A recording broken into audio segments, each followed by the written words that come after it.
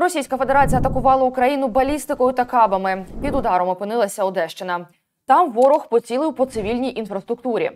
Також від обстрілів потерпала Харківська, Дніпропетровська, Запорізька, Сумська та Донецька області. На жаль, є постраждалі та загиблі. Тим часом у Білгородській області Росії дрон знищив базу ворожих військових. А у Смоленській пожалілися на атаку дронів по військових об'єктах. Про це а також про обстановку на фронті та нового генсека НАТО. Далі у свіжому дайджесті новин за 26 червня. Мене звати Анна Ткаченко. Вітаю на каналі Січас. Прошу одразу підписуватись, ставити вподобайки і вперед до ключових новин дня. Почнемо зі зведення щодо наслідків ворожих обстрілів за минулу добу. Російська армія вчора, 25 червня, вдарила з авіації по селу Бобрівка під Харковом. Про це повідомляє обласна прокуратура. Внаслідок атаки поранення отримали шестеро осіб. Серед них троє жінок віком 61, 86 та 41 рік. І троє чоловіків 46, 57 та 67 років. Крім того, через обстріл пошкоджено щонайменше 20 дачних домоволодінь, автомобілі, господарчі будівлі. Також сьогоднішньої ночі, 26 червня, ворог обстріляв селище Борова. Як розповідає голова обласної військової адміністрації Олег Синігубов, внаслідок обстрілу горів магазин. Крім того, пошкоджено будівлю аптеки та скління будівлі центральної районної лікарні. Неспокійно було і на Дніпропетровщині. Цієї доби агресор продовжував бити по Марганецькій громаді Нікопольського району, застосувавши важку артилерію і дрон камікадзе. Як повідомив голова ОВА Сергій Лисак, пошкоджені два приватні будинки, господарська споруда, теплиця та лінії електропередач. Обстріляв противник і Мирівську громаду. Усюди, на щастя, минулося без загиблих та без постраждалих. Також упродовж доби окупанти 328 разів ударили по Запорізькій області. Під ворожим вогнем перебували сім населених пунктів. Як зазначає голова ОВА Іван Федоров, надійшло 9 повідомлень про руйнування житла. Мирні жителі знову ж таки не постраждали, і в цьому є приємна новина. Однак відомо, що вночі та зранку середи загарбники здійснили 15 обстрілів прикордонних територій та населених пунктів Сумщини. Там зафіксовано 54 вибухи. Про це розповідає керівник апарату ОВА Ігор Кальченко.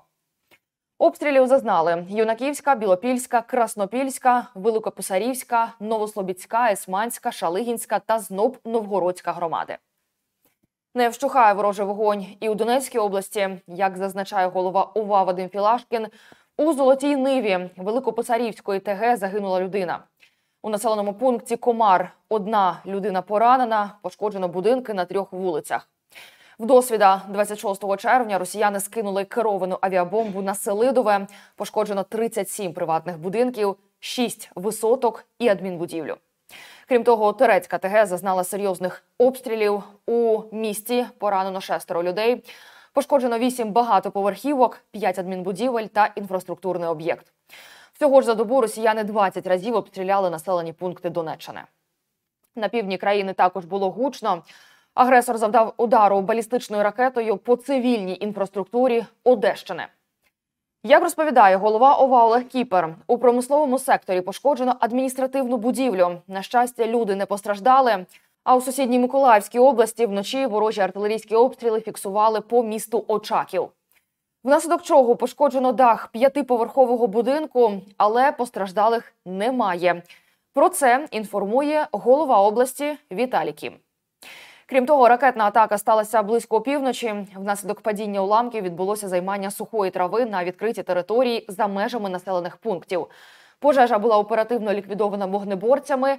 Постраждалих немає. Ну і тепер до новин із передової. Від початку поточної доби на лінії фронту зафіксовано 36 бойових зіткнень. Загарбники із Росії здійснили один ракетний та 10 авіаційних ударів із застосуванням 22 кабів. Завдали 44 удари дронами камікадзе і майже 6 сотень разів обстріляли позиції наших військ та населені пункти. Про це у щоденному зведенні повідомляє Генштаб Збройних сил України. Найбільше боїв точилися на Покровському напрямку. Противник тисне поблизу населених пунктів Новоолександрівка, Воздвиженка, Прогрес, Євгенівка, Сокол та Новоселівка. Перша шість атак вже відбито, бої зіткнення тривають. Російські загарбники вірогідно сформували ще одну загальновійськову армію для розгортання в Україні, зокрема на Харківщині. Про це повідомляє інститут вивчення війни. Речник угруповання військ ЗСУ Хортиця, підполковник Назар Волошин, днем раніше повідомив, що війська противника мають намір перекинути частини 155-ї окремої морської піхотної бригади та 9-ї мотострілецької бригади 51-ї армії саме на харківський напрямок, аби компенсувати російські великі втрати. Аналітики також зазначають, що зараз у федерації тривають широкомасштабні реформи, включаючи створення нових загальновійськових формувань армійського рівня. Ну а посилання з українських джерел на 51-шу армію можуть бути першим показником того, що Росія сформувала ще одну загальновійськову армію для розгортання в Україні. Тим часом наші прикордонники знищили ворожу техніку та зброю на сумському напрямку. Результатами своєї роботи вони поділилися у мережі. Зазначається, що на відео показана робота аеророзвідників ДПСУ. Наші захисники вистежують позицію окупантів, розташовані у густо засаджених лісосмугах, та завдають ударів по їхній бойовій техніці та зброї. Зокрема, прикордонникам вдалося уразити ворожі автівки, вантажівку, броньовик, кулемет корд та ще кілька одиниць бойової техніки. За що неймовірна вдячність нашим героям. Ну а ми ж рухаємося далі до новин у Росії. У селищі Мощена Білгородської області дрон знищив базу військових РФ у будівлі школи.